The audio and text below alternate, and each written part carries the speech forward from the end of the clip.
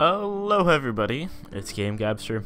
We are in Masters of the World. This is one of my half favorite games. It's not, or it's not, okay, it's a geopolitical simulator, you know, Geopolitical Simulator 3. I did play the second one, Rulers of Nations. This is, this is obviously the third one. It was released in May last year. I think it was in May, maybe it was April, sometime then. Uh, after long time, long periods of delay, because they said it was going to be released in February or something. In any case, uh, I just wanted to showcase this. Um, it's a very, very fun game, although it, it does have some problems. So basically, you take control of a country, or the head of state of a nation. So we're gonna go World Simulation. We're gonna start a new game. Uh, the world in 2013, that's the normal uh, thing we play. Uh, I haven't played this in a very long time, but let's go. Sorry if the music is a bit loud. Let's choose a random country here.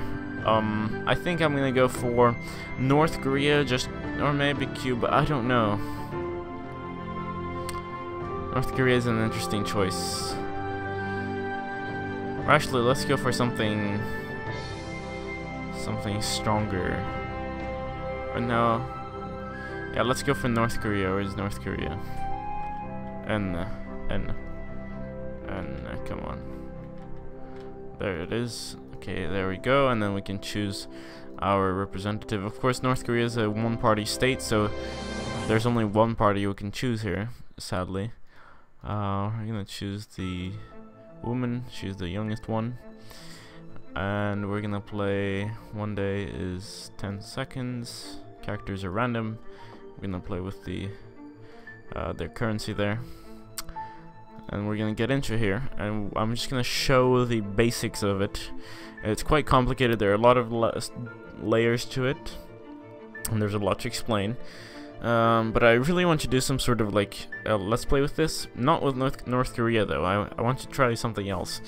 Uh, maybe the Democratic Republic of the Congo something in Africa, something where I can see the economy, you know, explode and be awesome and help people.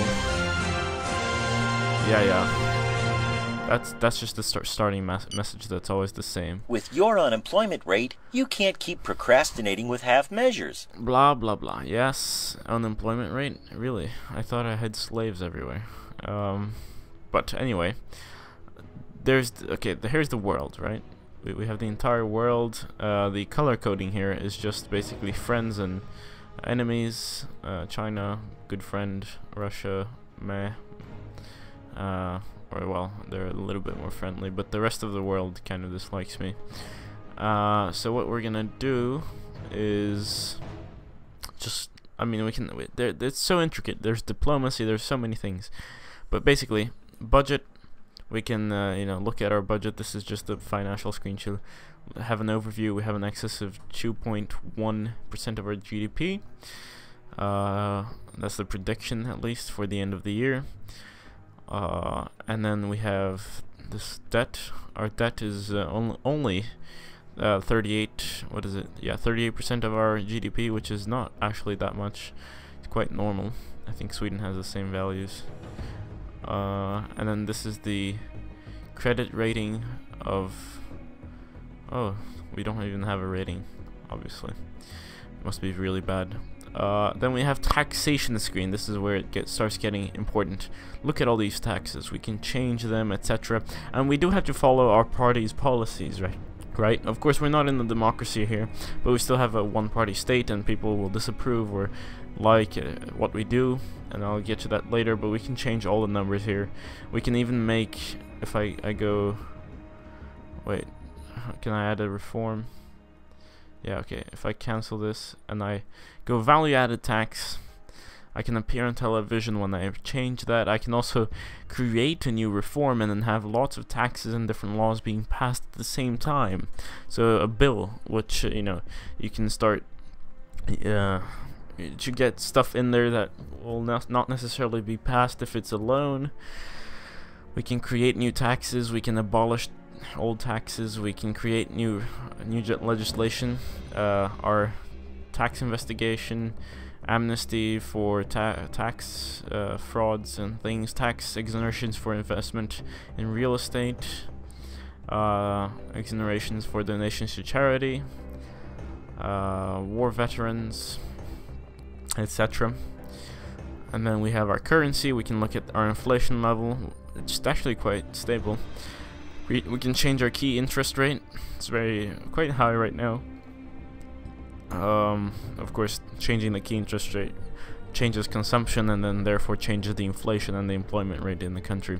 Here we can change the uh, salaries of our um, of our state civil employees.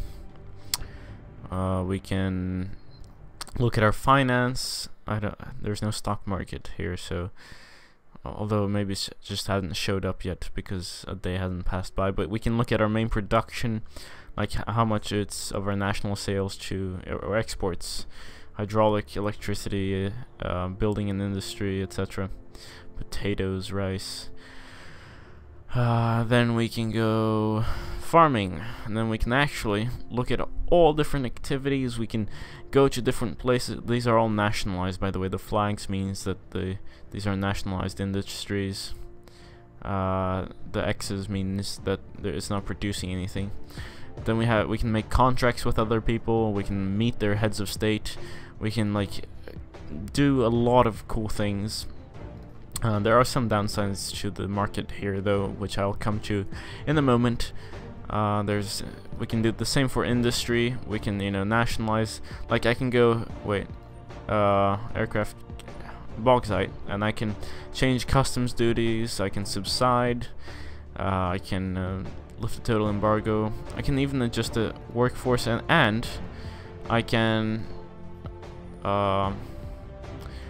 adjust the degree of nationalization nationalization. So I can do a sector state involvement, minority shareholder, instead of being completely nationalized. Uh, and we can do, you know, look at our service. Uh, what you know, what are we doing? Our services that are nationalized, railway, etc. Uh, energy, our energy production, contracts, dismantling, constructing new plants and things. We can place oil wells, gas wells in places that do have that. So if I go oil, no, actually oil platform, and I try to positioning this, it will analyze the area. I haven't clicked yet. It's very weak. It's not going to produce anything really. Come on, nothing. Very weak. Okay. So, if I placed it uh, here, for example, by Iran, of course, it's to be very different.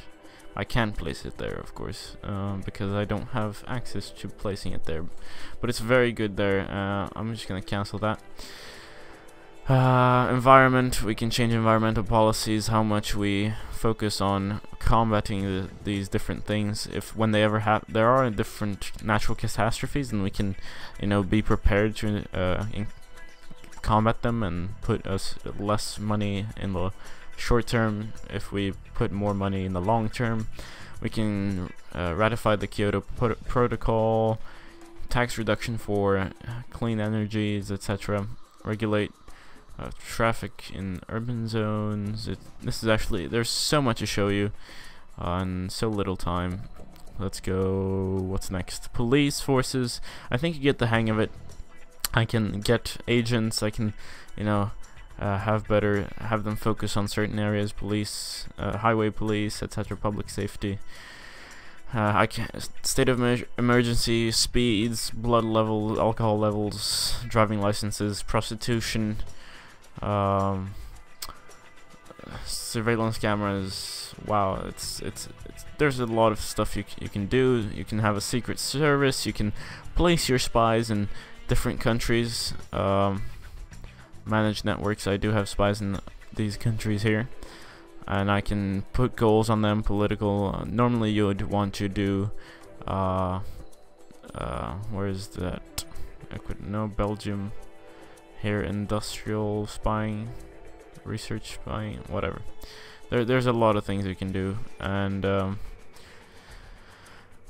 immigration policies, army policies, construction of military bases, um, salaries, military operations, and you all have you always have to balance because you have ministers and they'll disapprove or approve of these things, and you have a parliament in a democracy, uh, they'll, they'll also approve or disapprove, and depending on your laws, and you have military commanders who might decide to make a coup if you lower the the military salaries too much too quickly.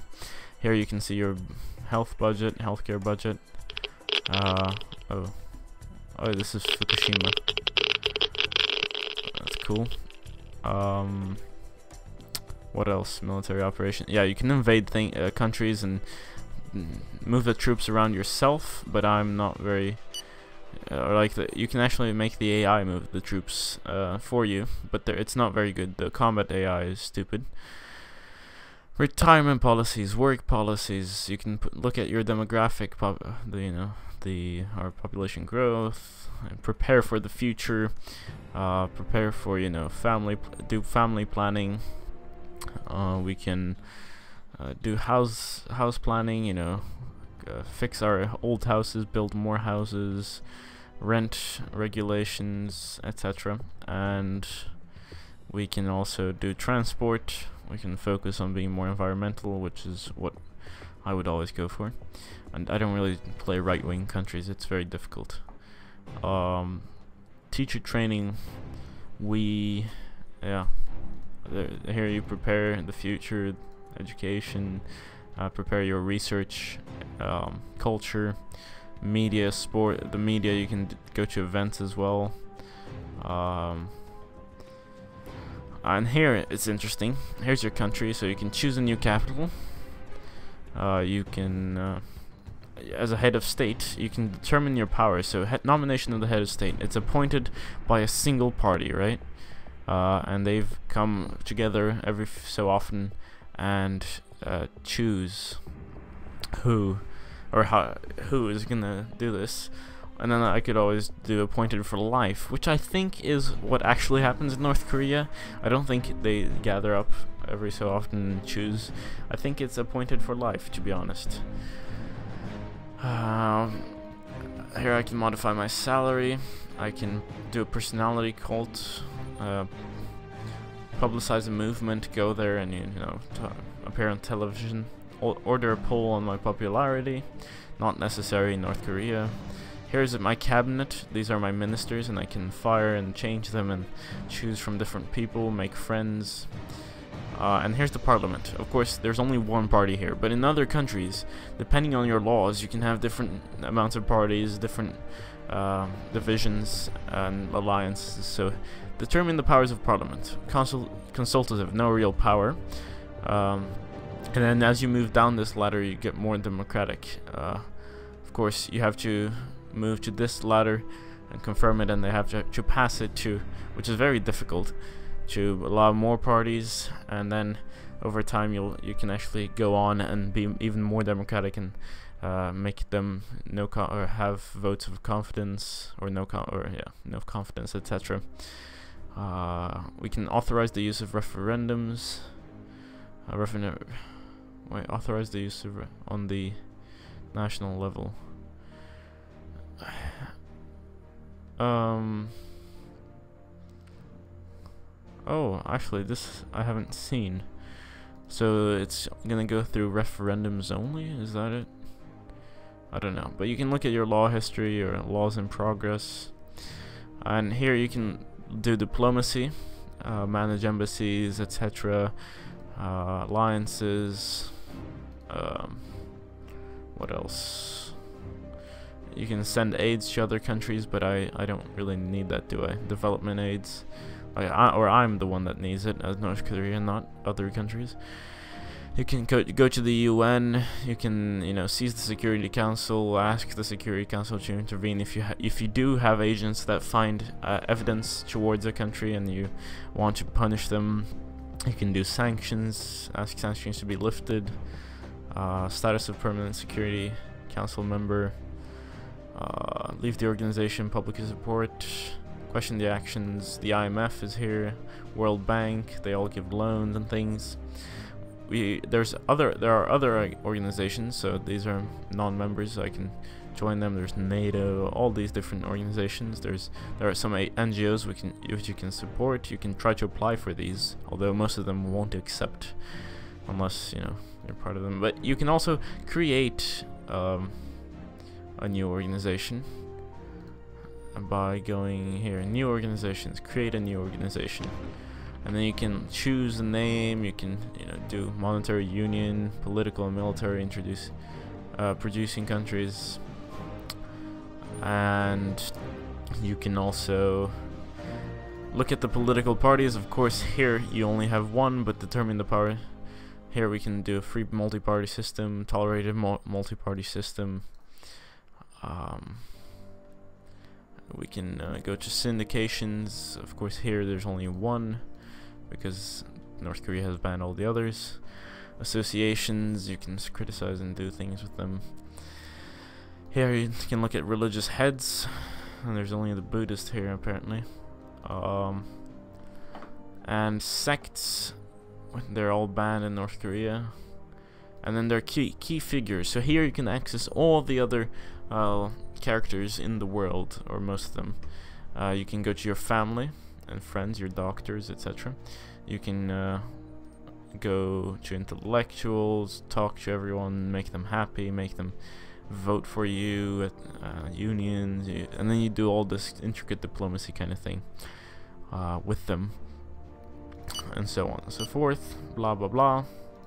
But yeah, it's it's very cool. Although one of the aspects that I do dislike is the if if we go to the economic part, it's quite badly, um, very badly uh, coded to be honest. Of course, mm, we're playing North Korea, but uh, so I can't really show that off. But what happens is that uh, you can, when you nationalize an industry or you build something, the return on that investment is always five years. Five years, that's it. You know, and then it, that's assuming there's no inflation or monetary value change. But it's always five years and you get that back that money. But sometimes I think well maybe it's that's not really what would happen. And you can all and if you go if your debt if you go if you actually pay off your entire debt right? I've done this. And then you, you have a sur surplus uh so you, you you you don't become a creditor nation you don't have there's no your money just disappears which is absolutely it's strange it's very strange uh, so basically you do have to have some debt because it's apparently it's uh, healthy or something. I don't know. And yes, the my main concern though is um, the market itself. It's very stupid. If I produce, if the world requires, say, okay, three units of a rice, they don't measure it this way here. They measure in billions and trillions of tons of, like normal people do. But let's just say the world requires three units of of rice, and I produce four units of rice, and the rest of the world produces those three units. So the total is seven. My units of rice. Of course, I can do contracts with other nations and still gain money from that if they require it. But all the surplus that I have of that uh, resource will still be sold to like some magical uh, market. It doesn't, the price doesn't drop dramatically.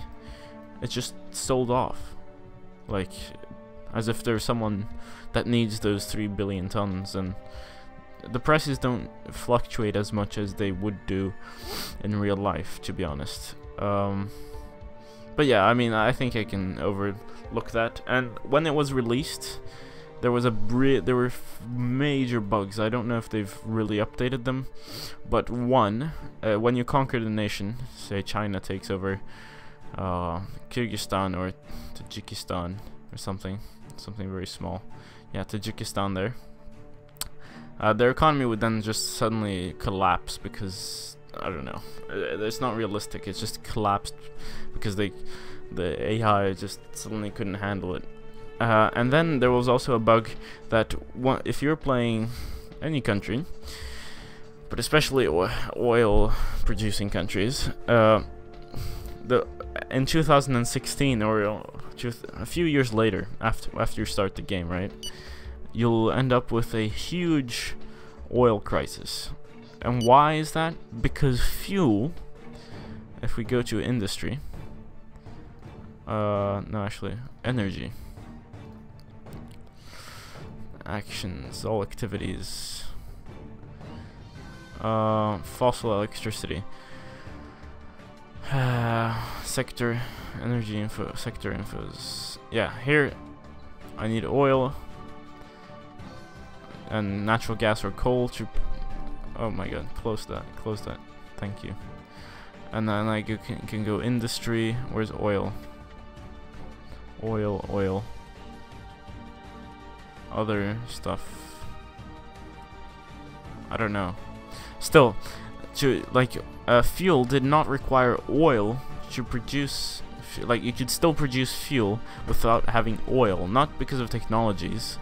Uh, but because it just you know that's the way it, it was. It suddenly it, they forgot to realize that you know you make fuel out of oil.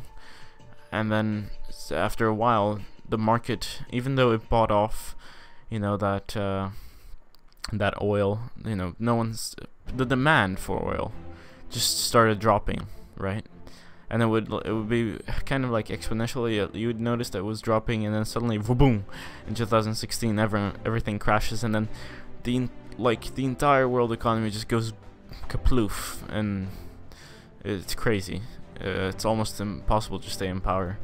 Or like it's possible but you still get you know budget deficits and there's it's insane. I, I don't know if they've fixed that. I think they have. Hopefully they have uh, a lot of things but yeah I mean it's very cool. Uh, also you, you can build trains. Uh, you can build so many things in this um, even though it's not you know the most amazing game ever it's it's decent and I, I do like it. Although my resentment towards the people producing it in France is that it's it was super it was it was very expensive. Uh, it was like I paid what was it 40 euros 30 or 40 euros for this. I knew what I was gonna be buying but the worst part is that you know they released some some sort of DLCs and they they don't really have a big fan base. And this okay the worst okay here's the worst part. They're gonna be releasing another version in like September this year. Or well they say September but it's gonna be next year probably but I feel like it's you know it's only been a year what the hell can you fix your fucking game first and then we can talk about a future that would be very nice of you man now let's do some military operations. Uh, personal analysis. He's just telling me how coming. My informants report that the temp temperature on the street. Ah, demonstrations of tourism professionals. I don't care. Or tourism professionals. Seriously, that's a bug. North Korea tourism. The country might suffer. Food food crisis. Anyway, let's go. Military operations. Uh, use chemical weapons. No. Army. Um, uh, ratify the contact the produce nuclear missiles. Ratify the non-proliferation treaty. Let's sign that. Eritrea is having a food crisis. It's their own fault. What are these guys doing? Is that a tanker? Hopefully it is. It's not a military ship. What is this? Hello. Right. There are a lot of people here. I'm at the headquarters of the political bureau where there's an extraordinary. Blah blah blah. Yeah, they are talking about me as a leader. Still, um, it's very interesting and eh, I feel like doing something with this. I must let you know a certain concern I have. Blah blah blah. Mother's nightmare obviously. Now we, we need to conquer South Korea. Okay, that's not gonna happen this time, guys. But uh, I, I was just looking through it. What? Seriously, I've been forced into retirement. I haven't done anything at all. Maybe that's the thing. Yeah, maybe that's bugged as well. Um, forced retirement for Kwe Young Moon. Finally, People's Collectivist Party Political Bureau officially dismissed Kwe Ryong Moon due to a great fatigue caused by the hard exercise of, of the power, a symbol of the taking over by the party. Its number one, Chi Gon Park, took the vacant position and formed a new government. The deposed head of state remains present at the party's bosom where her valuable advice will be given the attention they deserve. That means never. Uh, no, not, let's not look at my score. Actually, to be to be honest, my score I've, I've played as Brazil, Angola a few times. Uh, let's see, load game here. Let's go Brazil. I I did quite a lot of good things until this economic crisis came along. Um, but really, it, it was it's been a lot of fun. I'm just gonna show this off before we leave. Uh, my score, total score, I think was like one of the top 10 in at least a, like 8 months ago which means I'm probably bottom at the bottom right now uh, Brazil is a common uh, model country for the blah blah blah blah blah but yes we can look at our budget here we do have a an excess but it's uh, a forecast going down there very sharply and this has to do with the our currencies inflate oh we're having a huge deflation. And I think this is maybe one of the problems I had. Like, even though I'm at the bottom interest rate, uh, okay, he here's another critique. I'm, I, I'm quite, you know, social democratic. Uh, I'm a socialist uh, at heart, and but I, I do have some more radical views of the world, uh, and I, I think that this game is really centered around our current a model of the world, you know, we have this economy, that's it. You can't change it. You can't do anything different at all. Uh, like, I, I can't... I'm stuck to the system and therefore uh, I can't really accomplish what I actually want. Uh, also, let's look at our finance here. See how, yeah, the stock market is crashing and our growth rate. Uh, it was going very well. We we had an amazing growth at some point of like almost 10%. And here, this is back last year. It's 2020, so it's been seven years of gameplay, I think. Uh, but yeah, suddenly here March uh, 2020, boom, everything just goes to hell. Um, so yeah, it's quite difficult. But I haven't really continued on this because this is a save before they updated the game, so I think, you know, I, I really want to start something new and something with not such a big country, maybe. Um, plus, diplomacy is quite difficult. People don't like me that much. Maybe I'm too leftist. At least North Korea hates me. They're not leftists. They're crazy, crazy people. Anyway, thank you for watching. Uh, I'm, I'm looking forward to doing something with this. Please tell me if you do want me uh, to see me play uh, some country, and please recommend some country that you would like to see me play as. Um, I'm I'm going really thinking of doing the Democratic Republic of the Congo or I don't know Zambia, Angola, something of the sort, and then even having military invasions and conquering just for fun. I know it's not a conquest game, but I, I want to do something fun, you know. Anyway, this has been Game Gabster. Goodbye.